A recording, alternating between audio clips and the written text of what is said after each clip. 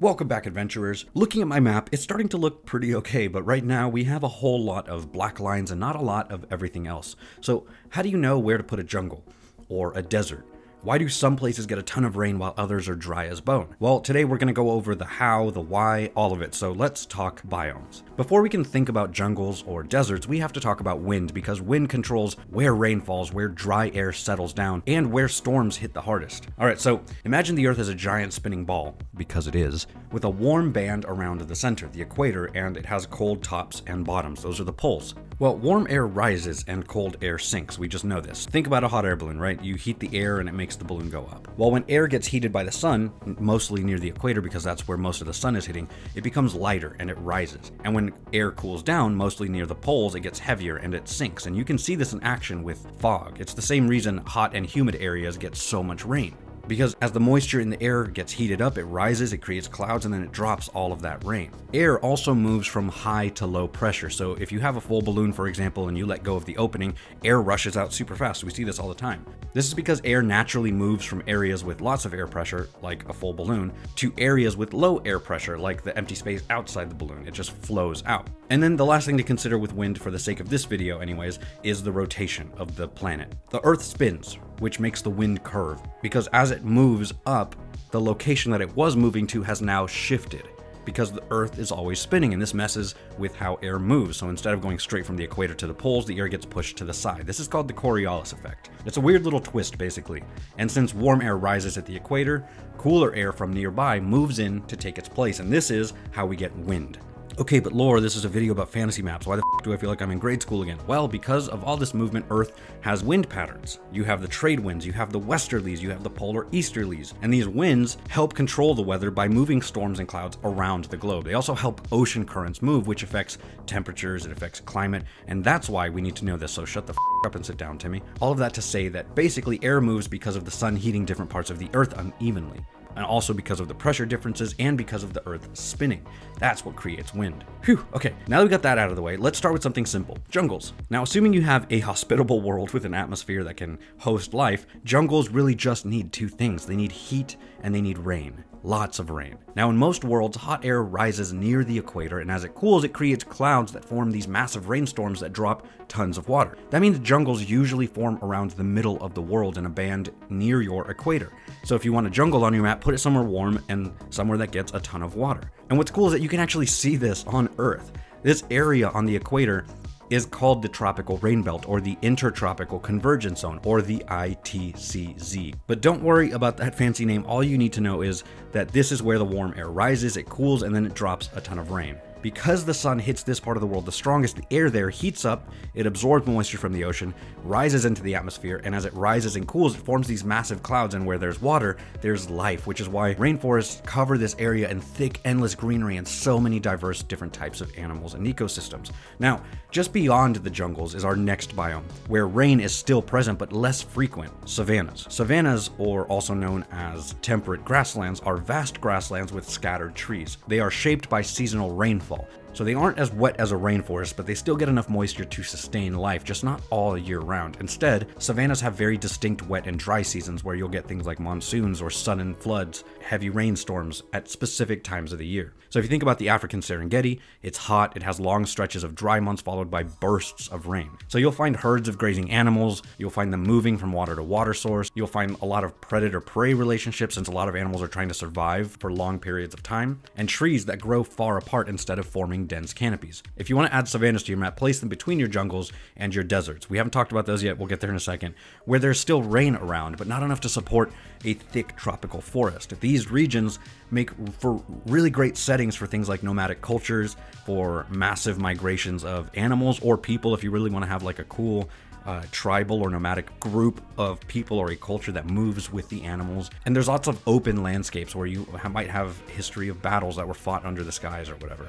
Now we get to something a little more complex. Once all of that rain falls, the air keeps moving, but now it's dry. And that brings us to our next biome, deserts. That dry air moves north and south. It sinks back down to the surface, and sinking air doesn't make clouds or rain. Instead, it creates these dry zones. It sucks moisture out of the air. And that's why most major deserts on Earth, like the Sahara, the Arabian Desert, the Australian Outback, they sit right beyond the jungles. If you want a hot desert, put it in a sunny, low altitude region with very little water. If you want a cold desert, you put it farther north or on a high altitude plateau like the Gobi Desert. But deserts don't just happen in hot places. Some deserts form because of mountains blocking the rain. This is called a rain shadow. And how rain shadows work is that wind blows moist air towards a mountain range. The air rises, it cools, and it drops all of this rain on the windward side, which is the wet side.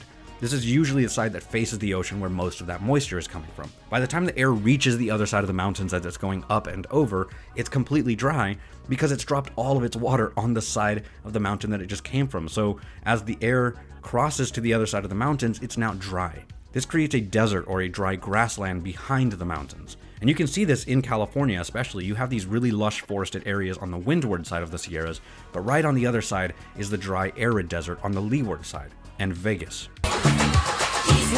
Now, as you go farther north, you start to get colder because most planets don't get even sunshine on all areas. In fact, the tilt of the Earth is why we have seasons. As the Earth wobbles for some of the year, we're facing the sun, and for some of the year, we're facing just a little bit away. That little bit of wobble is enough to cause a shift in, say, a few degrees of temperature, and that's where we get our ups and downs and our fluctuations in our temperatures, and that's where we get our summers and our winters. Now, just beyond the deserts, as the air warms up again and starts carrying more of that moisture away, we get our next biome, which is our temperate forests. Now, if you really want to make your campaign a delight, you need Dscryb. Now, instead of talking to you about it, I decided it's probably better just to show you. So here's 30 seconds of ambient sounds brought to you by Dscryb. Don't skip, it's good for you.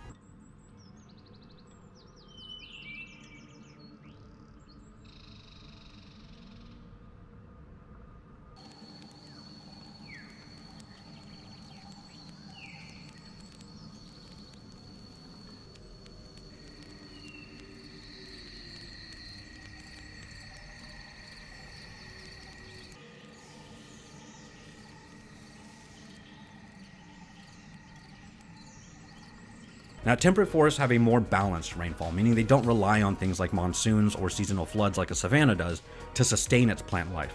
Instead, they get this steady supply of rain throughout the year, which allows a variety of trees to thrive. Now, on Earth, you have two types of temperate forests. There's your deciduous forests, which are those forests that shed their leaves in the fall and they regrow them in the spring. So this is where you get forests like what we have in Europe or in the eastern US. You get lots of rolling forests where autumn, you know, creates these really beautiful fiery reds and oranges on the landscape. Then you have your evergreen forests. And these forests keep their, their leaves year round and they thrive in cooler, rainier climates. So if you think of the Pacific Northwest, you have these towering conifers or the Black Forest in Germany that is dense with fir and spruce. These trees are adapted to those drier periods. So if you want to add a temperate forest to your map, put them between your deserts and your next biome, the taiga. Now, remember those wind patterns? Well, as you go farther north, winds change their direction back and forth. You can see it here on Earth in this diagram here. So you get a sort of roller coaster. The air rises, heads north, then falls, then warms again, and heads north into the colder areas, then releases rain and falls, heading north again, and it does this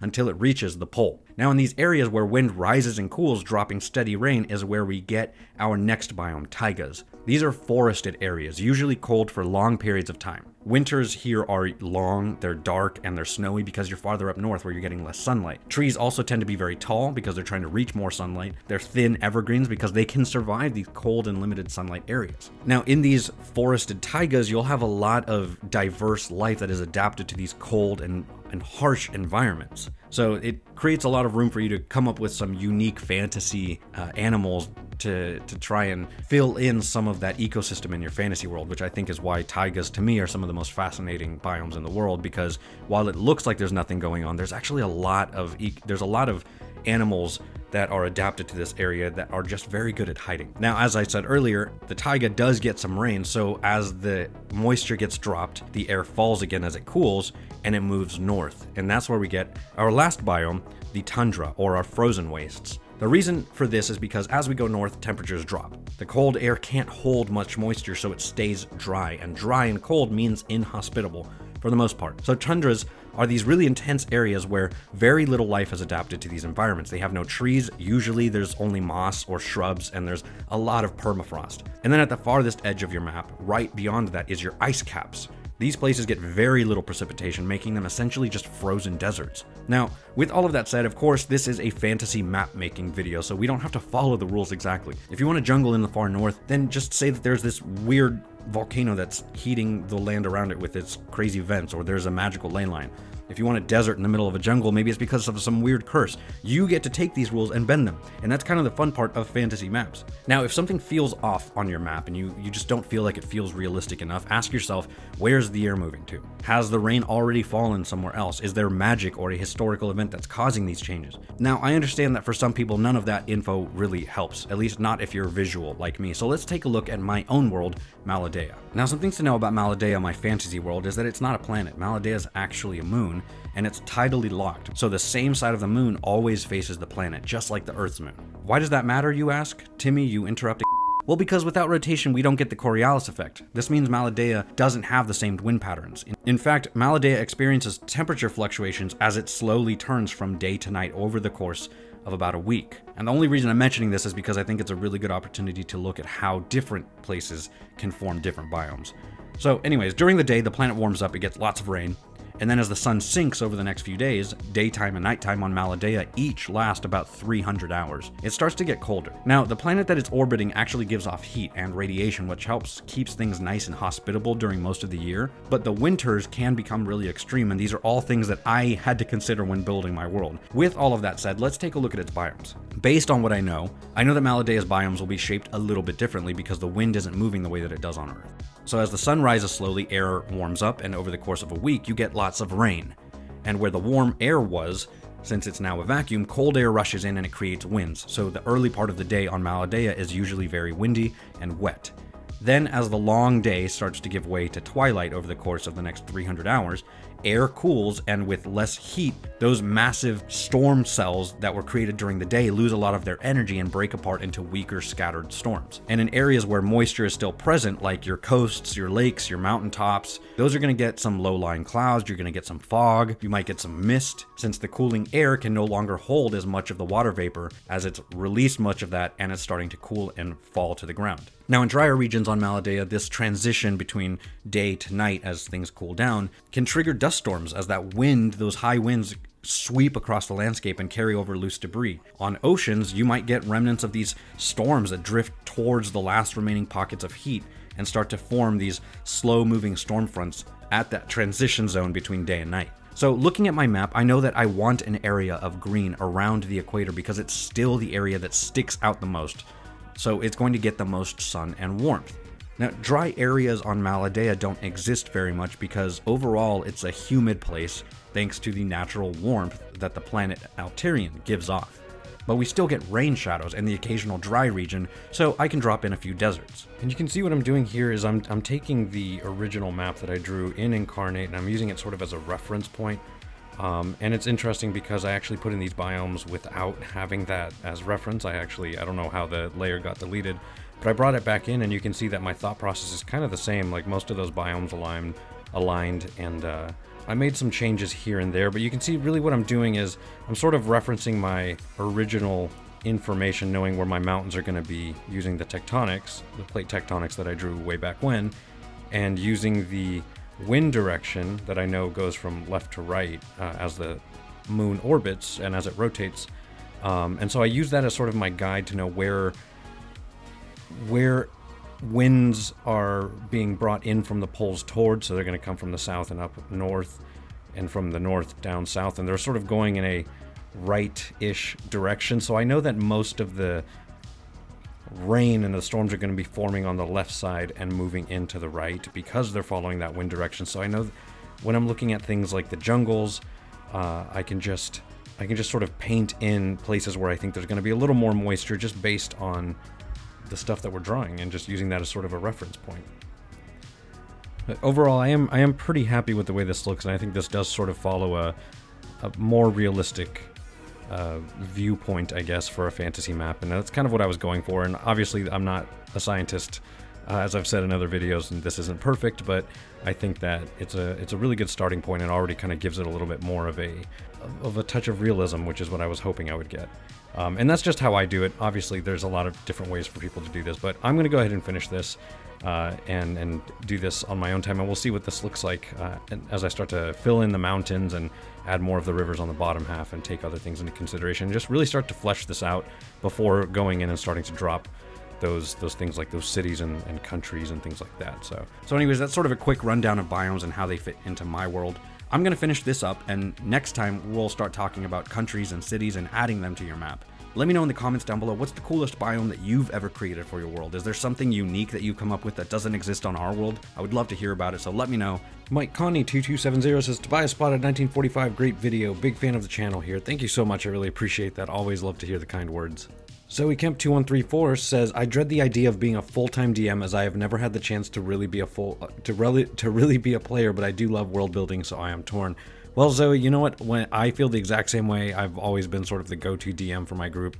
And I've learned to think of it in a different way. Instead of thinking of it as I've never gotten to play a character, what it means is that all of the cool characters you've ever thought of, you can put into your games as NPCs. Mario's Constantinitis 2685 says, This is such useful advice. I've been a writer and a DM for almost a decade now, and this streamlined approach, because of my scattered brain, always eludes me, and I start to hyperfixate on every single detail so my process seems too hard, chaotic, and time consuming to the people around me. And I can't get them to pick up DMing or writing for themselves, but this is a video I'm going to show my fiance, that's amazing, and make a date out of this so we can start building her world together. That sounds like an incredible time. Uh, I love having a support system. I have my wife as my support system, so amazing that you can turn to somebody like that and help build something together and also just really honored that you would choose to do that for with one of my videos so um, thank you so much i really really appreciate that now, if you were paying attention in today's video, leave a comment with a timestamp down below with where you saw our little buddy Tobias